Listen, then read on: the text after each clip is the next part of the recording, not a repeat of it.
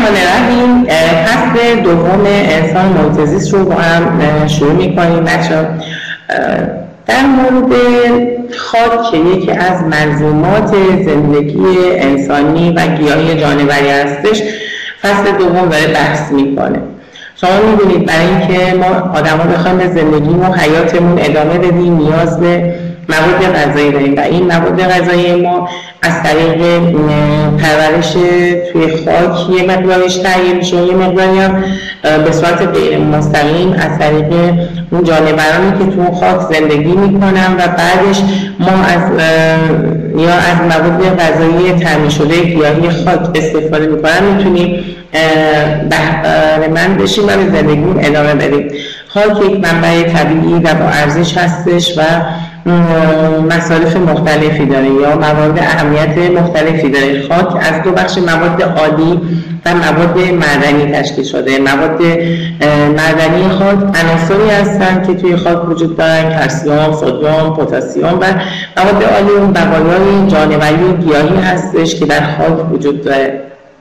حالا موارد اهمیت خاص خاک یک محلیه برای پرورش و رشد گیاهان و به عنوان مکانی برای تامین مواد غذایی ما خاک محلیه.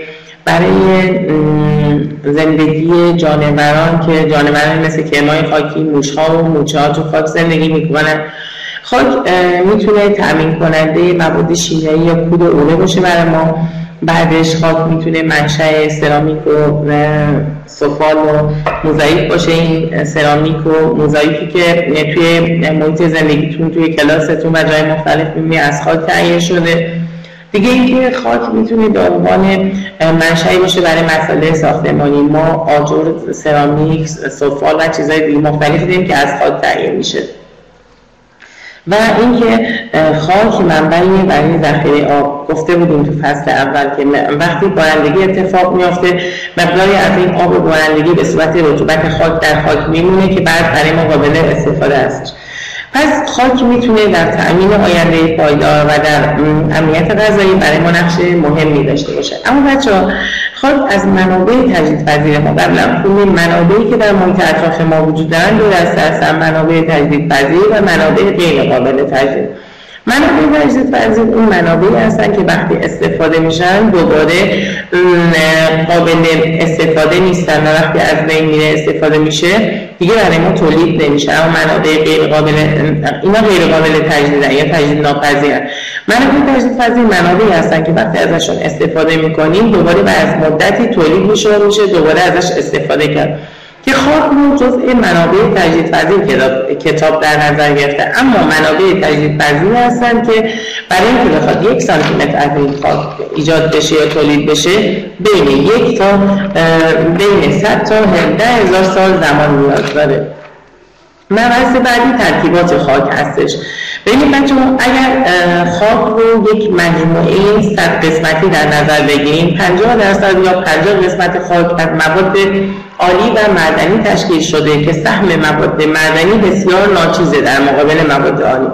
حالا 50 درصد یا 50 قسمت مابقیش میشه ترکیب مساوی از آب و هوا که به صورت 25 درصد 25 درصد در خاک وجود دارد.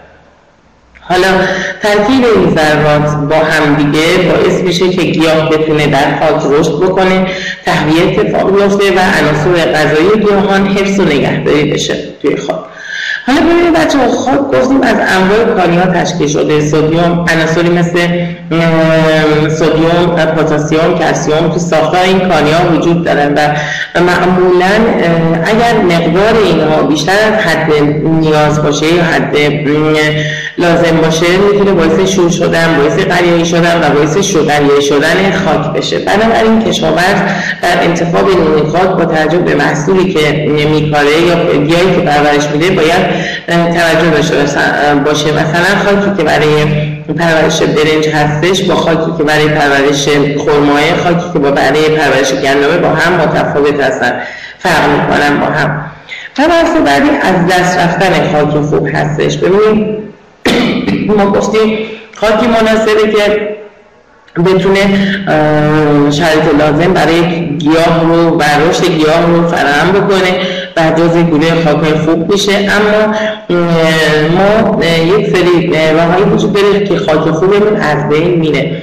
این که باعث از بین رفتن خاک خوب میشه می‌تونه آلودگی خاک باشه. مثلا پسماندها و فاضلاب ها و زباله ها وارد خاک بشه خاک رو آلوده بکنه. می‌تونه فرسایش خاک باشه که جابجایی خاک هستش از یک مکان به مکان دیگه که وسیله آب به وسیله باد به وسیله یخچال ها اتفاق میفته می‌تونه قرقابی شدن باشه یعنی بیشتر حد نیاز خاک بهش آب بدن خاک در آب غرق بشه یا آب سرزی بشه و کیفیت خاک رو از ببره. می‌تونه تبدیل اون اراضی و زمین های کشاورزی و بعدش باقی و زرایی باشه به منطقه مسکونی و ایجاد شهر و کارخانجات اینها که در حیطه تغییر کاربری قرار می‌گیره. می‌تونه چرای بیروی دام باشه. هر زمینی اون توانایی یک محدوده خاصی از اون جانورانی که درش تغذیه می‌کنن رو داره و اگر بخواد بیشتر از حد توان اونجا ما دام رو به منطق ببریم و در اونجا چرا بکنن امکان داره اون گیاهان رو از بین ببرن و بعدش دیگه ما نتونیم اون خاک خوب رو که ریشه گیاه اون رو نگه رو داشته باشیم. مورد بعدی آتش سوزیه مثلا تو همینجا تو روستای اطراف می‌بینیم وقتی برنجشون رو برداشت می‌کنن ساقه و ریشه گیاه رو توی مزرعه آتیش می‌زنن این باعث میشه خاک کیفیتش رو از دست بده و نتونه اون کیفیت کارایی بقیه رو داشته باشه. اما آلودگی خاک که از راهی از دست رفتن خاک خوب هستش. به وسیله شوینده ها مثل انواع پودرها انواع وایتکس ها و بعدش مواد شوینده که استفاده می‌کنیم خاک آلوده میشه به وسیله فاضلاب ها به وسیله پسماند ها و زباله ها به وسیله کود های شیمیایی و مواد نفتی و آفت ها خاک آلوده میشه. اما آلاینده ها و مواد آلاینده آلوده کننده به چند صورت وارد بدن میشن. یا به صورت غیر مستقیم که ما این آلودگی وارد مجموعه گیاه شده و ما اون گیاه رو استفاده می‌کنیم به ما نفوذ می‌کنه به بدنمون. یا اینکه این آلودگی امکان داره از طریق تماسمون از طریق پوستمون و تنفس کردنمون به بدنمون وارد بشه و باعث ایجاد مشکلات زیادی توی بدنمون بشه. دستگاهی مختلف بدنمون رو تحت تاثیر قرار بده و حتی از کار بندازه. کتاب دو تا مثال براتون زده. یکی کادمیوم هستش که از طریق فاضلات صنایع رنگسازی پلاستیک سازی باتری سازی عکاسی و کارخونه های ذوب آهنین ها میاد وارد محیط میشه این فاضلات ها و وارد مجموعه یک گیاه میشن وارد یک گیاه میاد اون رو از طریق ریشه جذب می‌کنه و بعدش میاد و ما اون گیاه رو مصرف می‌کنیم و می‌تونه با مصرفش باعث فشار خون بالا در ما و یا باعث نایسایی کلیات تو بدن ما بشه. مورد بعدی نیکل هستش. از عناصری که تو صنعت فولاد و صنعت صنایع فلزی خیلی کاربرد داره توی رنگسازی تو وسایل آرایشی و توی وسایل برقی که وقتی وارد بدن میشه می‌تونه باعث انواع سرطان ها انواع اختلال تو سیستم ایمنی و مشکلات دسته تنفسی بشه. البته این نیکل وقتی وارد گیاه میشه باعث زرد شدن گیاه میشه که به اصطلاح بهش کلروز میگن.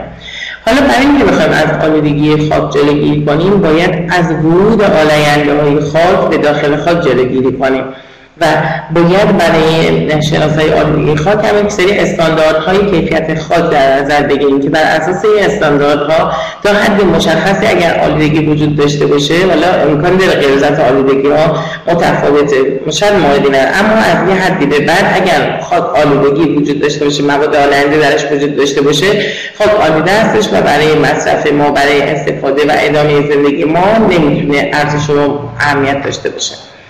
مبحث بعدی تجربه موفق در حفاظت خاک هستش. تجربه موفق در حفاظت خاک به این صورتی که ما میایم خاک رو که آلوده شده می‌خوایم آلودگیش رو از بین ببریم. حالا این از بین بردن آلودگی یک جریانیه که هم طولانی مدت هم هزینه زیادی داره و با روش های زیستی فیزیکی و شیمیایی اتفاق میفته برای از این مدل آلودگی بچه ها کتاب دو مدل براتون معرفی کرده. یکی زیست بالاییه یعنی استفاده از موجودات زنده. برای از بین بردن آلودگی و یکی هم گیاه بالاییه یعنی از بین بردن آلودگی به وسیله گیاهان. که ما تو کشورمون بزرگترین سایت پاکسازی خاکهای آلوده به مواد نفتی رو توی آستان چهارمحال وقتی تو منطقه اصفهان داریم که اینجا اومدن یک سری تدابیری اندیشیدن که بخواد این خاکهای آلوده به مواد نفتی رو اصلاح بکنن. این مرکز در سال 1391 تو کشور ما ابراز شده. یک نمونه دیگه از تجربه موفق بر حفاظت خاک تجربه کشور ژاپن ژاپن کشوری که خیلی محدود خاکشکنه بنابراین باید خاکش رو حفظ بکنه و این کار اهمیت خیلی زیادی داره از این تو کشور ژاپن اومدن خیلی قوانین سخت برای اونهایی که تخریب می‌کنن خاک رو برای اونهایی که آلوده می‌کنن خاک رو قرار دادن تا از اون آلودگی و از بین خاک جلوگیری بشه. مبحث بعدی امنیت غذایی ببین بچه ما آدما در این که به زندگیمون ادامه بدیم نیاز به غذا داریم. مثل آب مثل هوا که چطور نیاز داریم به غذا هم نیاز داریم. این غذا معمولا تو خاک ایجاد میشه یا اون رشد می‌کنه بیشترش. حالا پیش بینی که شده گفته که جمعیت کره زمین در سال 2050 میلادی بیشتر از 9 میلیارده و باید 60 درصد مواد غذایی که در دنیا وجود داره افزایش پیدا بکنه. طرف ما می‌بینیم. خاک آلوده شده کیفیتش اومده پایین محصول دهیش کم شده. بنابراین ما باید این مواد غذایی که این افزایش جمعیت داره رو بتونیم تعمین بکنیم. و چون مشکلات زیادی در این راه هم هستش باید از یک سری تدابیر علمی از, از یک سری اون ملاحظات فرنگ اجتماعی که با توجه به قوانین اسلامی هستش این کار رو انجام بدیم و این غذایی که باید نیاز هستش رو تعمین بکنیم اینجا دو تا مبحث وجود داره. یکیش امنیت غذایی که همه افراد جامعه بتونن به غذای سالم و خوب و با کیفیت دسترسی داشته باشن و کافی. دوم اینکه ایمنی غذایی یعنی اینکه حفظ و نگهداری ماده غذایی از آلودگی هستش. بدون از هر آلودگی که از مزرعه تا خونه و محل مصرف رو شامل میشه. مبحث بعدی تراژن هستش. محصولات غذایی تراژن. ببینید در مورد محصولات غذایی تراژن کتاب براتون اومده سری توضیحات داده که می‌تونه بهتون کمک کنه در درک و یادگیری بهتر این محصولات.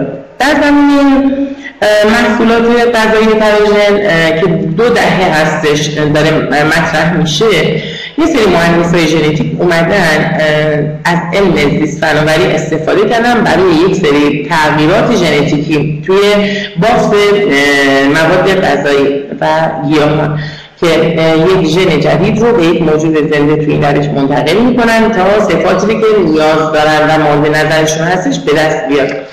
مواد غذایی تنشن از دهه 90 میلادی تو بازار اومده وارد شده و چند نمونه از محصولات تراژن پنبه هستش کوزا هستش سویا و دولت که محصولات تراژن بچه یک سری مزیت هایی دارن. یکی اینکه وقتی محصول متراژنه کمتر از کود و آفتکش و علفکش استفاده میشه. پس نیاز به اینا دیگه نیست. دوم که از آلودگی خاک جلوگیری میشه چون مواد اون سموم دفع آفات کمتر به مزارع وارد میشه.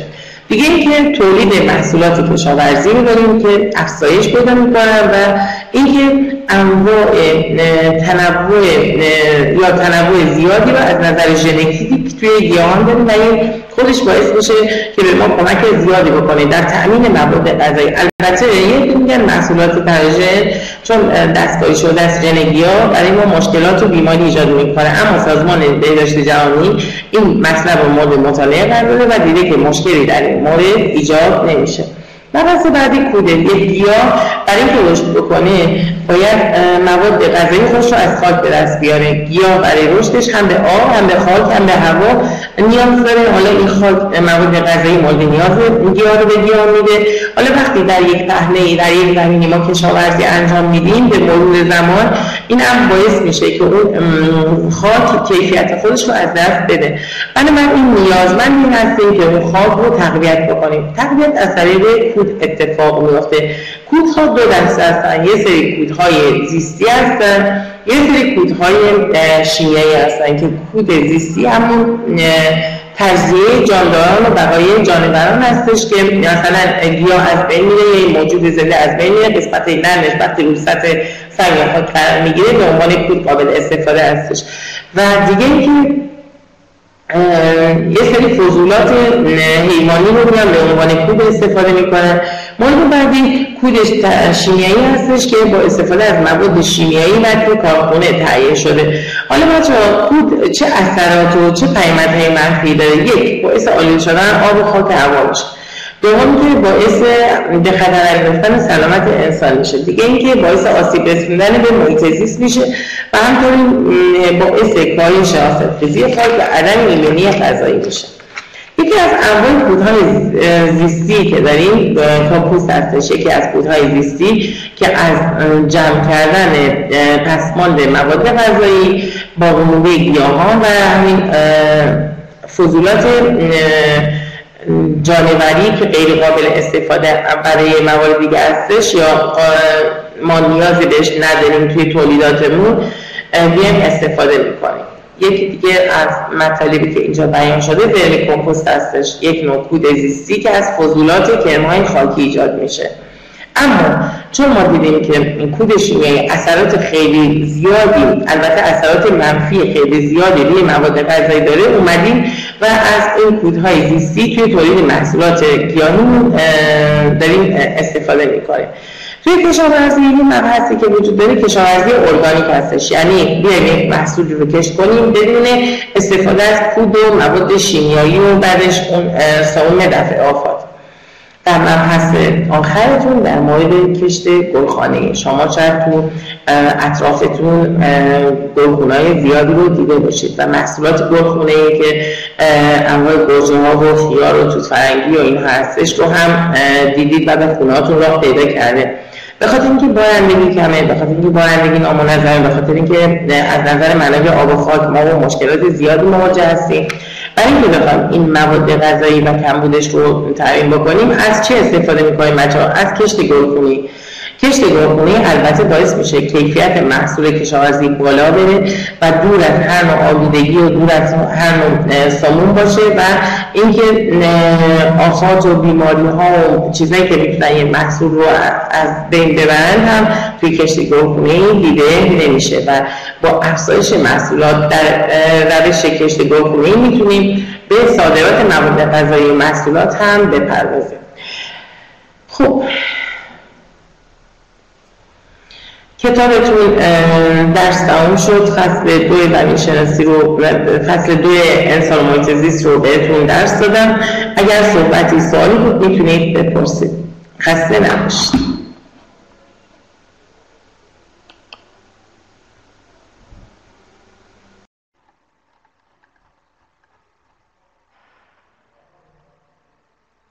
بچه های عزیزم سلام روزتون بخیر باشه. امروز در ادامه بحث فیزیک یکمون فصل اول بخش مکانیک میریم سراغ حرکت شتابدار ثابت در راستای افقی همونطوری که بهتون گفتم شما کلا امسال حرکت های شتابدار رو فقط در راستای محور x ها می‌خونید. یک بار دیگه براتون توضیح میدم. گفتیم حرکت وقتی شتاب داره که سرعت تغییر کنه.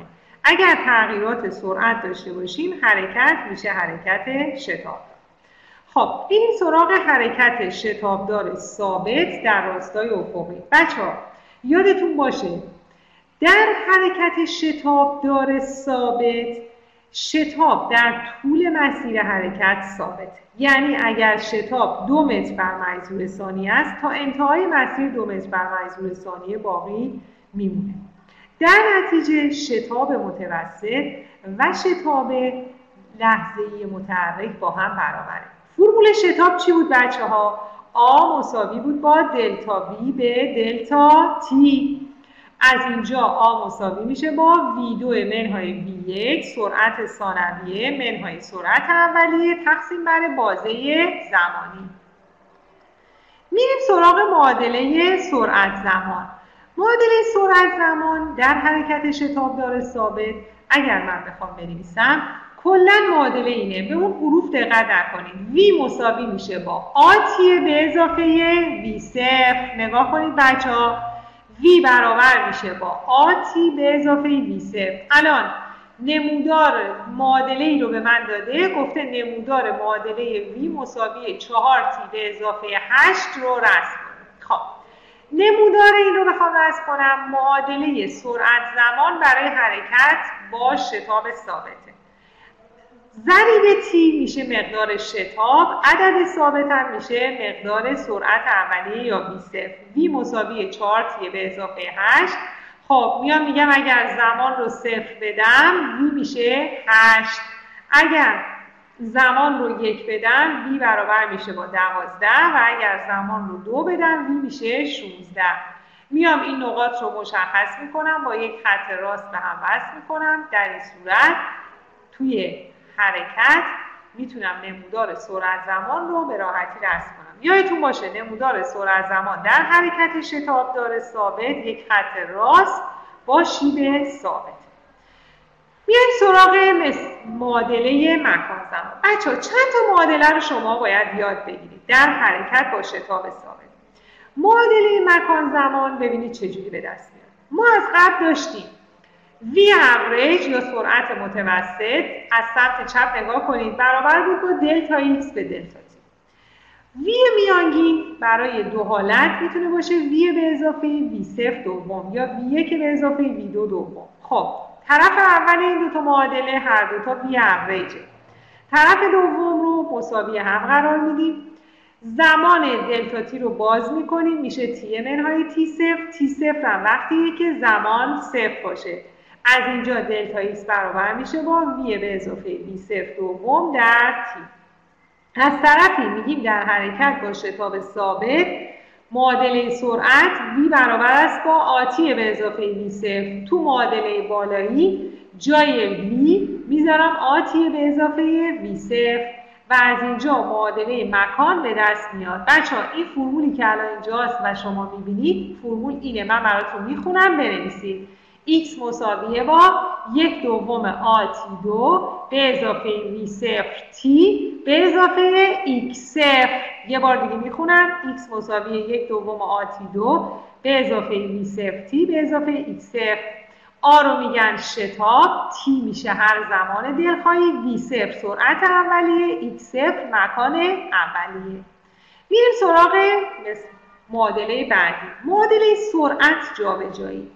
حرکت با شتاب ثابت گفتیم حرکتی که در اون شتاب متحرک تغییر نمی‌کنه. خب میام چیکار می‌کنم؟ دلتا ایکس رو می‌نویسم. داشتم دلتا ایکس برابر بود با وی در تی اینجا دلتا ایکس من میشه وی اوریج یا وی میانگین. وی اوریج چی بود؟ وی به اضافه وی صفر دوم در تی بعد شتاب با هم که فرمولش رو داشتیم آ برابر بود با دلتا وی به دلتا تی دلتا وی من میشه وی منهای وی صفر تقسیم بر تی از اینجا تی به دست میاد وی منهای وی صفر تقسیم بر آ دلتا ایکس رو پیدا می‌کنم. میشه وی به اضافه وی صفر دوم در وی منهای وی صفر جاگذاری می‌کنم. و یه معادله به دست میاد که بهش میگم معادله سرعت جابجایی وی به توان دو منهای وی صفر دو مساوی دو در دلتا ایکس. سراغ معادله مکان زمان. بچه ها اثبات فرمول ها رو نیاز ندارید. و این شما باید فرمول های نهایی رو بلد باشید. معادله مکان زمان در حرکت با شتاب ثابت رو اگر بخوام بنویسم باز هم یادتون باشه x برابر میشه با یک دوم آتی دو به اضافه b سفتی به اضافه x پس یادتون باشه ما فقط نیاز داریم معادلات رو یاد بگیریم. راه به دست آوردنشون و اثباتشون رو شما نیازی نداره یاد بگیریم. نکته در حرکت شتابدار ثابت شیب نمودار سرعت زمان ثابته و شتاب و متحرک رو به ما میده. اگر نگاه کنید نمودار سرعت زمان رو بکشید نمودار سرعت زمان یک خطی با شیب ثابت به اون شیب میگن تانژانت زاویه آلفا. درسته؟ شیب برابر هست با شتاب متوسط. در حرکت با شتاب ثابت شتاب متوسط و شتاب لحظه‌ای با هم برابر هستند. پس آ برابر میشه با دلتا وی به دلتا تی نمودار شتاب زمان در حرکت با شتاب ثابت یه خط راسته که با محور زمان موازیه دلیلش چیه؟ دلیلش اینه که شتاب عدد ثابتیه. چون شتاب یک عدد ثابته در نتیجه مثلا چهار متر بر منظور ثانیه است. تا آخر مسیر هم چهار متر بر منظور ثانیه باقی میمونه. میریم سراغ نمودار سرعت زمان. بچه در حرکت شتابدار ثابت نمودار سرعت زمان یک خط با شیب ثابت. دلیلش چیه؟ چون شیب خط نشون دهنده شتابه و چون شتاب تغییر نمی‌کنه یک خط راسته و شیبش هم نشون دهنده شتاب متحرکه. یعنی اگر نمودار سرعت زمان به سمت بالا رسم بشه شتاب مثبته. اگر به سمت پایین باشه شتاب میشه چی؟ منفی. حالا میریم سراغ معادله های حرکت شتاب ثابت. بچه های عزیز شما باید این معادلاتی که در داخل این اسلاید نوشته شده همه رو حفظ کنید. اثبات فرمول رو نداریم ولی حفظ معادله رو باید انجام بدیم. خب قسمت اول معادله سرعت متوسط V average میشه V به اضافه V صفر دوم. V صفر سرعت اولیه است. معادله سرعت زمان V برابر است با آتی به اضافه V صفر. V سرعت و هر زمانیه. آ شتاب تی زمان V صفر هم سرعت اولیه. معادله مکان زمان x مساوی یک دوم آتی دو به اضافه صفر تی به اضافه x صفر که x صفر میشه مکان اولیه. اگر متحرک ما در مبدع زمان باشه در اون صورت x صفر ما صفره. معادله مستقل از زمان رو داریم. وی دو منهای وی صفر دو مساوی دو دلتا x. معادله مکان زمان بدون سرعت اولیه رو داریم. X مساوی منهای یک دوم آتی دو به اضافه وی صفری و معادله مستقلش شتاب دلتا x مساوی v به اضافه v صفر دوم در t. میریم سراغ نکته. بچه ببینید یه سری نکات رو اینجا بهتون میگم که تو حل مسئله ها به شما کمک می‌کنه. اگر متحرکی خب داره سرعت اولیه باشه. فکر کنید یه اتومبیلی که داره حرکت می‌کنه. یک راننده بیا ترمز بگیره. در این صورت جابجایی که راننده از زمانی که پاشو می‌ذاره رو ترمز تا وقتی که میسته بخوایم پیدا کنیم رو میگن مسافت ترمز یا خط ترمز. پس ببینید یه متحرکی یا یه ماشینی داره حرکت می‌کنه. راننده ناگهان ترمز می‌گیره. از لحظه ای که پاشو رو ترمز گذاشت تا لحظه ای که میسته مکانی که طی می‌کنه مسافتی رو که طی می‌کنه بهش میگن مسافت ترمز یا خط ترمز خب پس در نتیجه وقتی که میسته وی دو ما چند میشه بچه ها؟ صفره وی صفرمون چنده؟ مقدار داره چون متحرک من دارای سرعت اولیه بود خب فرمول رو می نویسم وی دو منهای وی صفر دو مساوی دو آ در دلتا ایکس. دلتا ایکس یا مسافت ما همون مسافت چیه بچه های من؟ ترمزه. خب من دلتا ایکس رو اگر بخوام پیدا کنم اگر من وی رو هم که صفر میشه بذارم می‌بینم اینجا دقیقا میشه منها. ما مسافت ترمز رو هیچ موقع منفی در نظر نمی‌گیریم همیشه می‌ذاریم تو قدر مطلق. دلیل چیه؟ چون مسافت منفی نیست. اما اگر بخوام زمان ترمز رو پیدا کنم دوباره میگم وی مساوی آتیه به اضافه وی صفر. وی چی بود؟ سرعت مساوی آتیه به اضافه وی صفر. خب زمان ترمز رو بخوام پیدا کنم. وی رو صفر می‌گیرم از اینجا زمان ترمز میشه منهای وی صفر روی آ. با توجه به اینکه زمان منفی نیست این مقدار رو داخل قدر مطلق قرار میدم. و وقتی داخل قدر مطلق قرار بدم تی یا زمان ترمز میشه وی صفر روی آ. میریم سراغ قسمت بعدی. یه نکته رو باید دقت کنید. اینا نکات کنکوریه که به دردتون می‌خوره. در حد کتاب نیستش. سعی کنید این نکات رو استفاده کنید. برای پیدا کردن مسافت ترمز به زمان ترمز می‌تونیم نسبت اینها رو پیدا کنیم. مسافت ترمز میشه وی صفر دو به دو آ. زمان ترمز میشه وی صفر روی آ. اگه اینا رو تقسیم بر هم کنیم در این صورت وی صفر دوم به دست میاد. میریم سراغ یک تمرین. گوش کنید بچه ها میگه معادله سرعت زمان متحرکی که در امتداد محور ایکس حرکت می‌کند در SI به صورت v مساوی منهای یک و هشت تی به اضافه دو دو دهمه الف سرعت متحرک در لحظه چهار ثانیه چقدر است؟ ب سرعت متوسط متحرک جابجایی آن در زمان صفر تا چهار ثانیه چقدره؟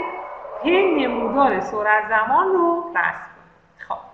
برای پیدا کردن معادله اولین چیزی که می‌خواد سرعت متحرک در لحظه چهار ثانیه. میگیم v مساویه با منهای یک و هشت تی به اضافه دو دو دهم. زمان رو باید چند ثانیه بدم؟ خودش گفته چهار ثانیه. تی رو می‌ذارم چهار ثانیه. معادله است. جاگذاری کنید. نگاه کنید بچه ها چیکار کردیم؟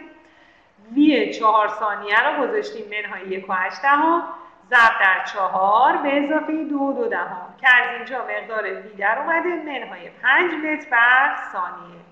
حالا میگم قسمت بعدی گفته سرعت متوسط متحرک و جابجاییش رو در بازه 0 تا 4 ثانیه پیدا کنیم. خب برای پیدا کردن این میگم اگر زمان رو صفر بدم وی صفر من میشه دو دو دهم متر بر ثانیه. سرعت متوسط در حرکت شتابدار چی بود بچه ها؟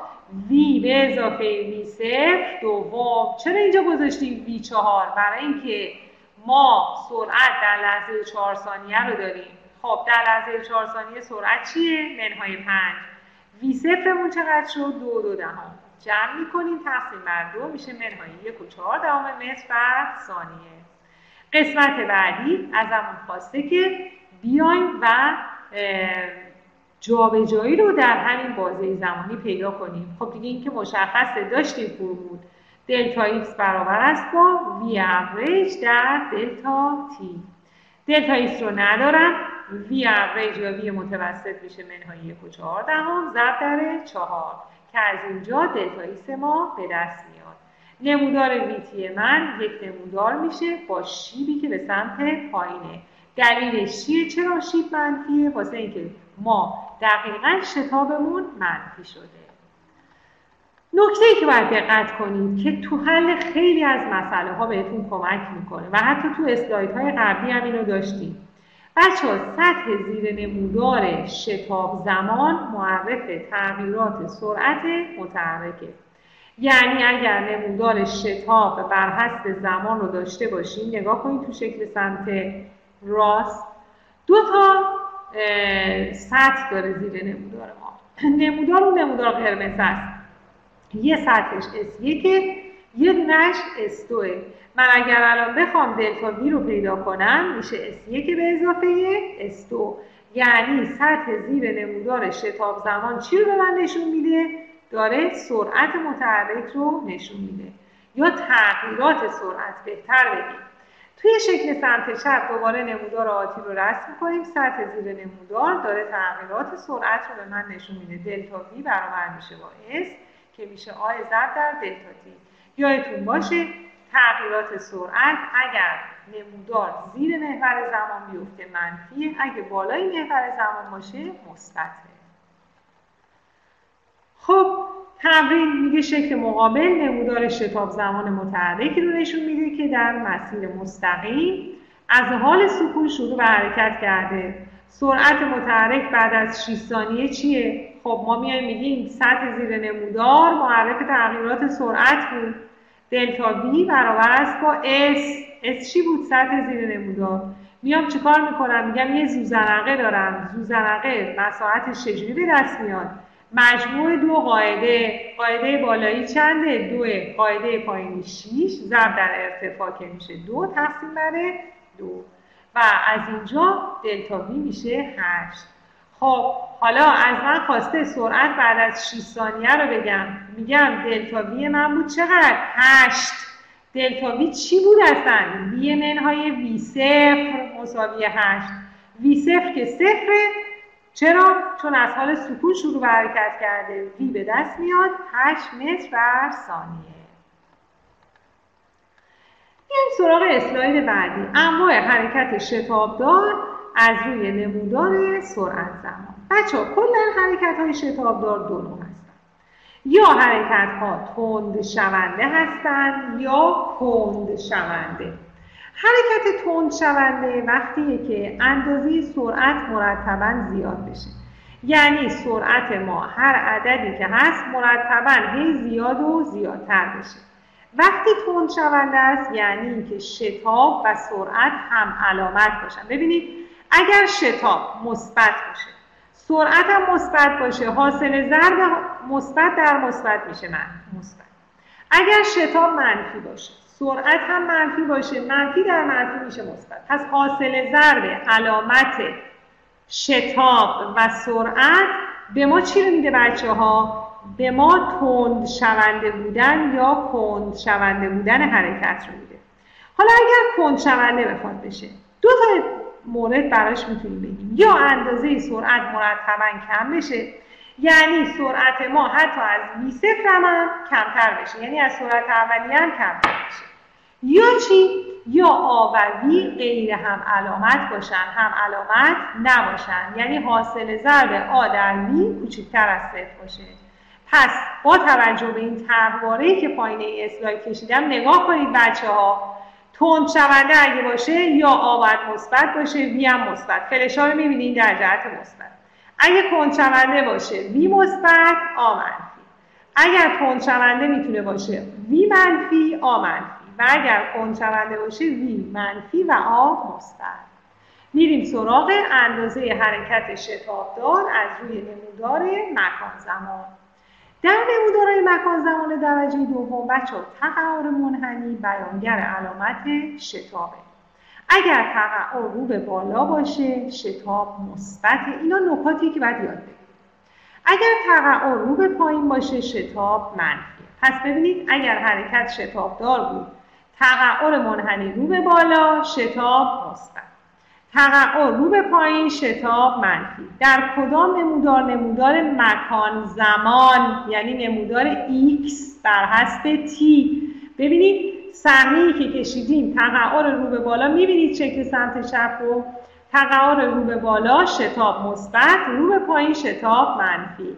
دوباره تقعر رو به پایین شتاب منفی رو به بالا مثبت. اینو دقت کنید.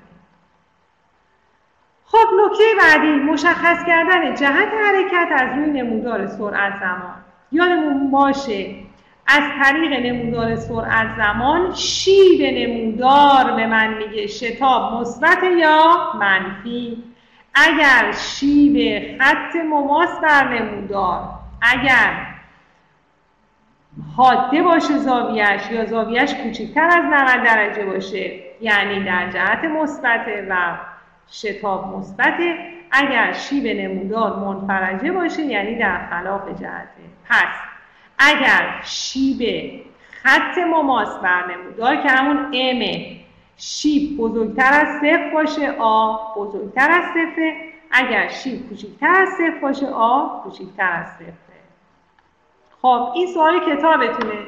میگه با توجه به نمودار مقابل بیاید نمایی تند شونده و کند شونده حرکت و لحظات تغییر جهت رو تعیین کنید. خب نگاه کنید بچه ها.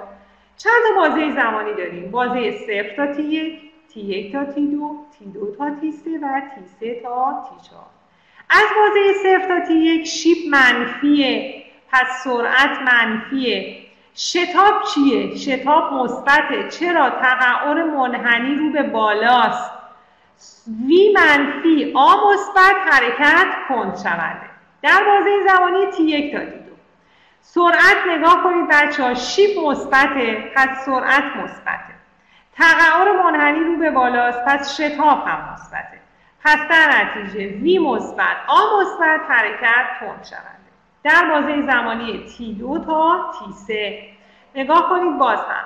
تی دو تا تی سه سرعت چیه؟ سرعت مثبته چون شیب مثبته شیب مماس بر نمودار مثبته. شتاب چیه؟ منفی. چرا؟ تقعر منحنی رو به پایینه. حرکت چی میشه؟ اون یکی مثبت یکی منفی میشه. کند شونده.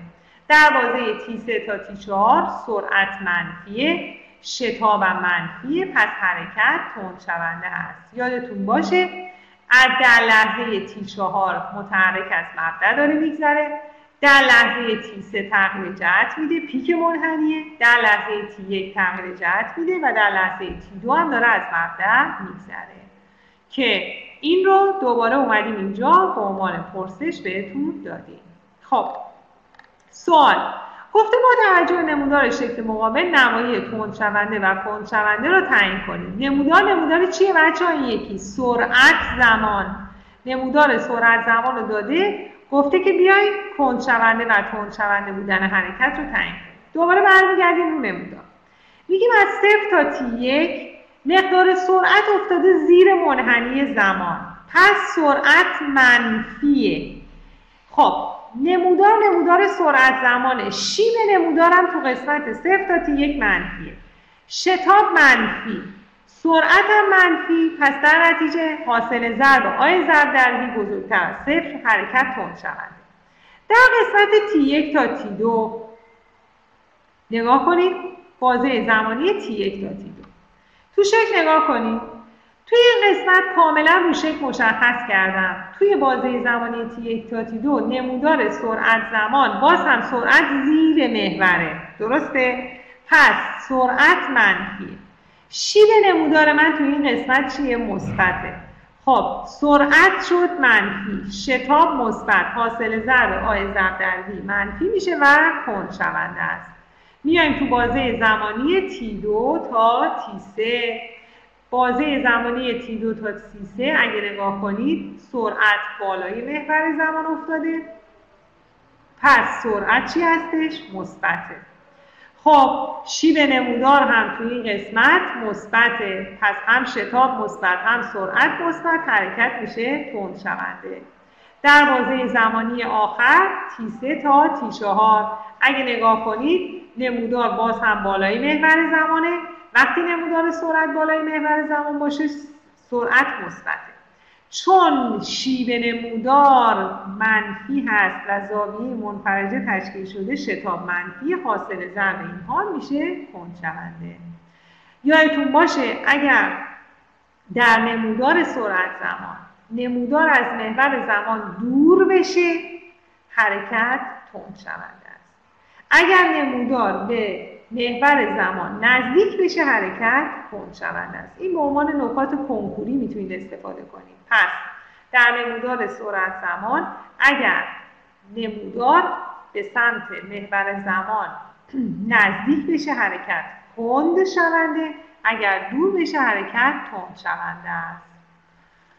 سوال بعدی. گفته نمودار سرعت زمان متحرک مطابق شکلی در چه بازه زمانی بردار شتاب در جهت محور ایکس و در کدام بازه بردار شتاب در خلاف محور ایکس خب در بازه صفر تا تی یک میگیم شیب مثبته. پس یادتون باشه در نمودار سرعت زمان شیب نمودار شتاب رو به ما میده. در بازه صفر تا تی یک چون شیب مثبته در نتیجه جهت محور ایکسه در بازه تی یک تا تی دو شیب منفیه میشه در خلاف جهت محور. در بازه تی دو تا تی سه باز هم میگیم شیب منفیه میشه در خلاف جهت محور. و در بازه تی سه تا تی چهار شیب مثبت میشه در جهت محور ایکس فعالیت رو دقت کنید بچه ها میگه در تمامی حالتهای زیر خودروها در امتداد محور ایکس با شتاب ثابت در حرکتن. فعالیت کتابتونه. گفته حرکت هر یک از خودروها توسط کدام یک از نمودارهای میتی زیر بررسی میشه. خودرو چهار تا خودرو داریم. خودرو الف ب پ ت. الف اگر دقت کنید شتاب منفی سرعت مثبت. پس در نتیجه نمودار دو جوابش میشه. متوجه شدید چرا؟ چون که حرکتش به چه ترتیب؟ شتاب منفیه یعنی که متحرک داره میسته قسمت ب. قسمت ب اگه نگاه کنید نمودار خودرو ب میشه نمودار یک. هم شتاب مثبت هم سرعت مثبت. حرکت تند است. میایم سراغ خودرو پ هم شتاب منفی هم سرعت منفی. نمودار چهاره نگاه کنید بچه ها هر دوتا دارن از محور دور میشن. حرکت اتفاقا حرکت هم تند شونده است. تو قسمت ت شکل ت رو نگاه کنید. شتاب مثبت سرعت منفی. در نتیجه حرکت کند شونده است. پس یه نکته تستی هم اینجا یاد بگیرید. اگر نمودار سرعت زمان اگر در نمودار سرعت زمان نمودار از محور دور بشه حرکت تند شونده. و اگر در نمودار سرعت زمان نمودار به محور نزدیک بشه حرکت کند شونده است. تمرین بعدی.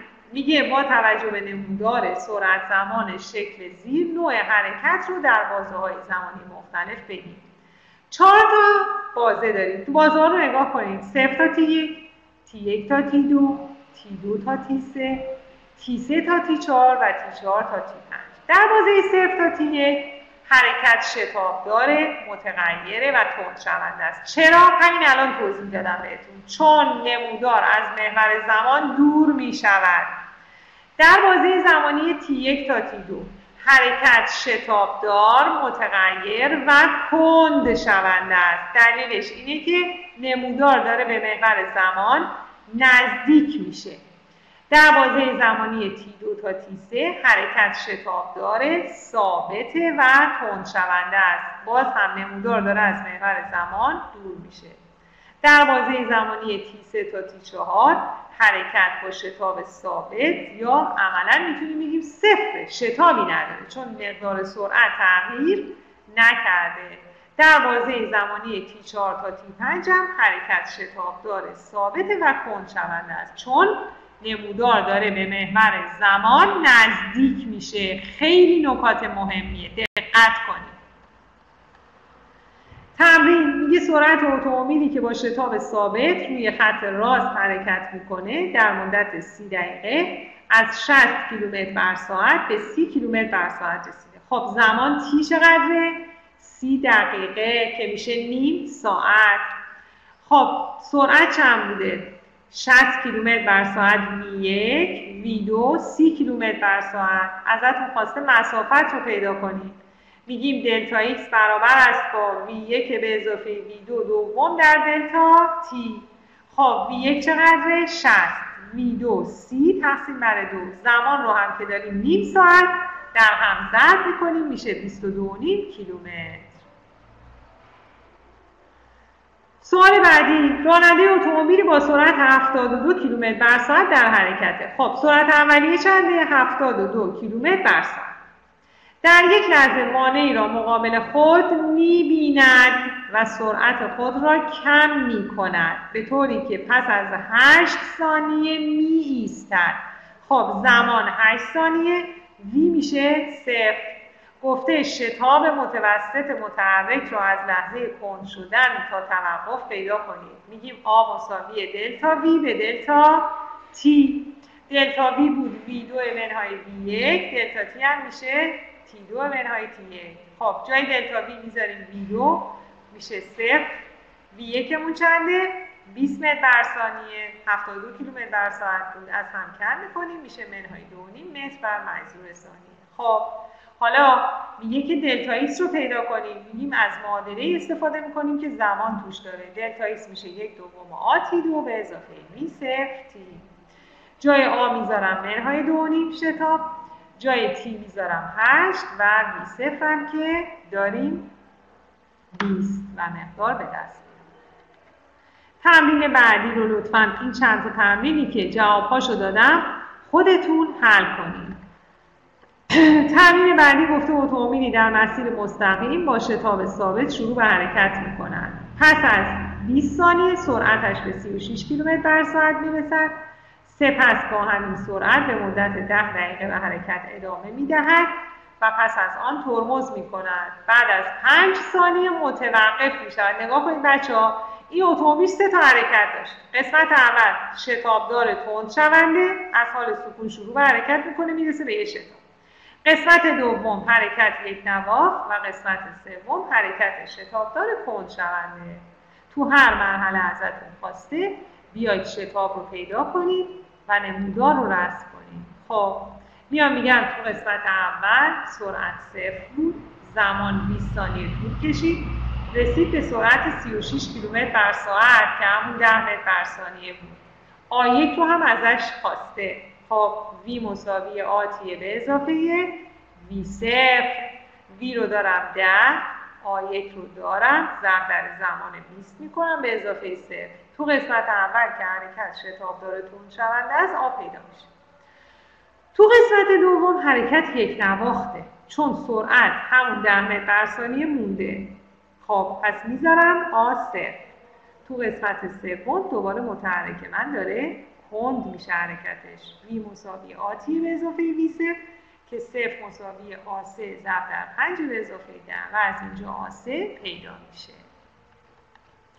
سوال بعدی معادله حرکت متحرکی در اس آی به صورت x مساوی تی دو به اضافه 5 تی منهای 4 است شتاب متحرک چند متر بر مجذور ثانیه است؟ خب میگم x مساوی تی دو به اضافه 5 تی منهای 4 فرمول اصلیش چی بوده؟ X مساوی یک دوم آ تی دو به اضافه v صفر تی به اضافه x صفر. یک دوم آ رو می‌گیرم یک آ پیدا میشه دو. V صفر هم که مقدارش پنجه x صفر هم میشه منهای چهار متر. میگم وی مساوی آ تی به اضافه وی که میشه دو تی به اضافه پنج. مثال بعدی گفته متحرکی روی خط راست با شتاب ثابت در حرکت در فاصله 10 متری مبدا سرعتش 3 متر بر ثانیه و در فاصله 18 متری سرعتش 5 متر بر ثانیه است. شتاب حرکت رو پیدا کنید خب این معادله که برای این می‌خوام بنویسم مستقل از زمانه چون فقط مسافت داده و سرعت. میرم سراغ معادله وی دو توان دو. میگم وی دو به توان دو منهای وی یک به توان دو میشه. دو آ در دلتا ایکس وی دو چند بود بچه ها شد پنج متر به بر ثانیه به توان دو. منهای وی یک هم که میشه سه. مساوی دو آ در. اینجا چیه؟ x2 منهای x1 x2 18 x1 در. از اینجا معادله رو حل می‌کنیم. شتاب میشه یک متر بر مجذور ثانیه. قسمت بعدی گفته پس از چه مدت از ده متری مبدع به 18 متری رسیده. چی مجهوله دلتا تی زمان؟ میگم 18 منهای 10 مساوی 5 به اضافه 3 دوم. از اینجا دلتا تی میشه دو ثانیه. سوال بعدی گفته با توجه به نمودار شکل زیر شتاب حرکت متحرک را به دست آورید نمودار رو نگاه کنید بچه ها نمودار x بر حسب t. نمودار مکان زمانه. اگر دقت کنید سرعت اولیه در این نمودار صفره چرا؟ چون شیب خط مماس بر منحنی رو اگر رسم کنم در لحظه صفر کاملا موازی محور زمان. پس وی صفر صفر. نقطه که در این نمودار مشخصه یه دونه نقطه است که زمانش 4 ثانیه است ایکسش هم 10 متره. خب معادله دارم. x مساوی یک دوم آ تی دو. به اضافه وی صفر تی به اضافه x x دهه. یک دوم رو می‌ذارم. جای آ مقدار ندارم. باید پیدا کنم. نقاط رو هم می‌ذارم. تی رو دارم. چهار می‌ذارم. و x هم که دهه. از اینجا شتاب براش پیدا میشه. یک متر بر مجذور ثانیه.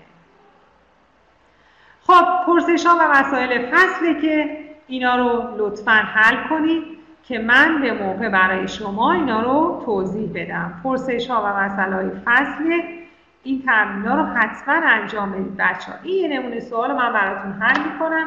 گفته نمودار مکان زمان متحرکی که با شتاب ثابت در حرکته مطابق شکل زیره. سرعت متوسط رو بین دو لحظه صفر و 8 ثانیه پیدا کنید میگیم برای پیدا کردن سرعت متوسط داشتیم. v مساوی بود با دلتا x به دلتا t v average بود x منهای x صفر به t منهای t صفر. خب در زمان صفر تا 8 ثانیه 8 منهای صفر میشه زمان. در 8 ثانیه توی 42 متریه در 0 ثانیه هم توی 10 متری. از اینجا سرعت به دست میاد.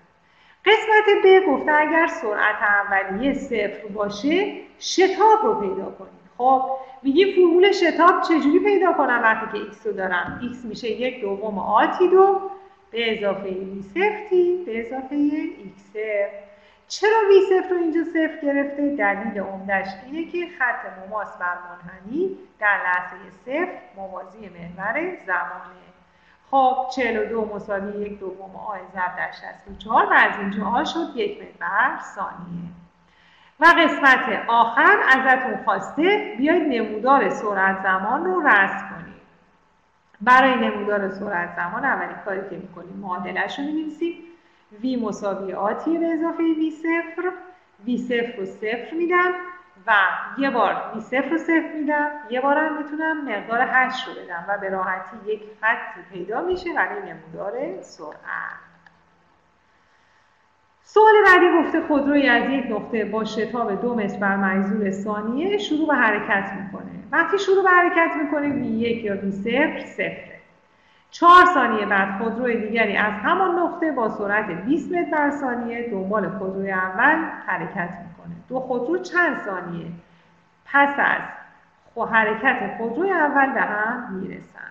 خب حرکتشون چی هستش بچه ها؟ حرکت خودرو دو خودروی دوم وقتی که میگه چهار ثانیه بعد میاد یعنی زمانش میشه تی یک منهای چهار. اول معادله حرکت رو می‌نویسم. X مساوی یک دوم آتی دو به اضافه وی صفری وی صفرمون چون صفره چون شروع به حرکت کرده میشه یک دوم ضرب در دو تی به توان دو. X دو من میشه وی دو تی دو. چرا x دو؟ چون حرکت یک نواخته. گفته با سرعت 20 متر بر ثانیه به دنبال این حرکت می‌کنه. پس حرکت حرکت یک نواخته. X1 و x2 رو مساوی هم قرار میدم. دستگاه دو معادله رو حل می‌کنم و زمانها پیدا میشه. سوال بعدی گفته آهویی در مسیری مستقیم در امتداد محور x میدود. نمودار سرعت زمان آهو در بازه زمانی صفر تا دوازده ثانیه رسم شده. ازتون خواسته مسافت کل پیموده شده رو پیدا کنید. گفتیم مسافت پیموده شده برای پیدا کردنش از سطح زیر نمودار سرعت زمان استفاده می‌کنیم. سطح زیر نمودار سرعت زمان دو تا مثلثه مثلث. ها فرمول مثلا چی بود؟ قاعده ضرب در ارتفاع تقسیم بر یه بار برای یه مثلث این برداریم اون برای یه زوزنقه است. اگر بخوام دقیق بگم زوزنقه دارم و مثلث. مساحت هاشون رو پیدا می‌کنم میشه سطح زیر نمودار که مسافت پیموده شده. است بعدی گفته جابجایی رو پیدا کنیم جابجایی رو اگر بخوام پیدا کنم باز اینجا با مسافت طی شده برابره. دلیل اصلیش هم این هستش که دقیقا روی مسیر مستقیم حرکت کرده و تغییر جهت نداده. حالا گفته نمودار شتاب رو رسم کن. شتاب رو برای اینکه پیدا کنم از دلتا وی به دلتا تی میرم و شتاب رو حل تمرین 11 یک هم یک نمودار کشیده گفته یک ماشین اسباب بازی که در امتداد محور x حرکت می‌کنه. با فرض اینکه x صفر صفر و v صفر صفر باشه در بازه 0 تا 25 ثانیه نمودارهای سرعت زمان و مکان زمان این ماشین رو رسم کنیم. این تمرین بسیار مهمه. من قبل از اینکه توضیح بدم تو کلاس حضوریتون دوست دارم خودتون این رو یک دور بخونید. حتما این تمرین رو از روی راه حلی که اینجا براتون گذاشتم بخونید و رفع اشکال می‌کنم در کلاس حضوری که در کلاس برگزار میشه. پس حتما و حتما تمرین 11 یک رو بخونید. ازتون نمودار شتاب زمان رو داریم. نمودار سرعت زمان و مکان زمان رو از همون خواسته پیدا کنید. این رو ریز مکان داره بشه و بخونید خب شکل زیر نمودار شتاب زمان ماشین اسباب بازیه که همونه. اینو می‌خونید و من براتون توضیح میدم.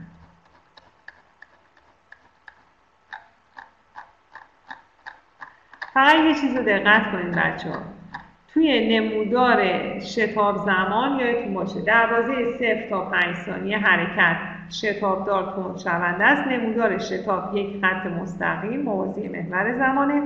دروازه 5 تا 15 شتاب حرکت صفره دروازه 15 تا 25 هم شتاب منفیه خب امیدوارم که از درس امروز حتما بهره کافی رو برده باشید بچه ها این پی دی اف هایی که براتون می‌ذاریم و این صداهایی که ضبط می‌کنیم درسی که میدیم مستلزم تمرین و تکرار شماست.